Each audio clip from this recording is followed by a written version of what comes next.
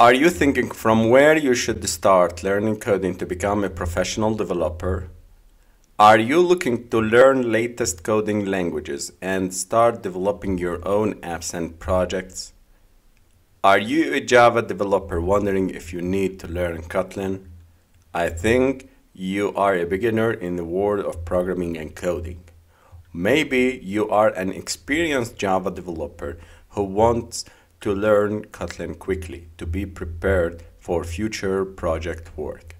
Perhaps instead you are an Android app developer who knows Java well, but you want to be able to move forward with Kotlin with new Android app development work. Well, with Google's recent focus on Kotlin for Android app development, this language has been launched into the mainstream and you can be sure you will be seeing a lot more about it. It's also highly likely that you will be working with Kotlin in your Java projects in the near future.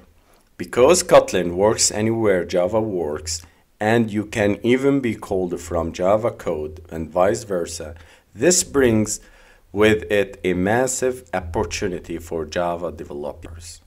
Being able to work with both Java and Kotlin is going to give you a massive advantage over other programmers. This course was designed to teach beginners and Java developers how to use Kotlin in the shortest possible time.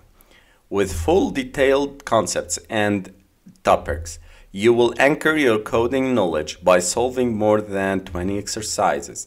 And the good news, we are expanding this course to become the largest Kotlin course on the universe by adding new lessons and exercises weekly.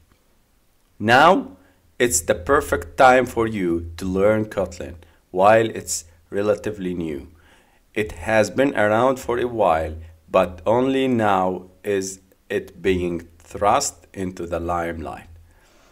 If you are ready to greatly increase your career prospects by adding Kotlin experience to your skills and knowledge, then sign up for the course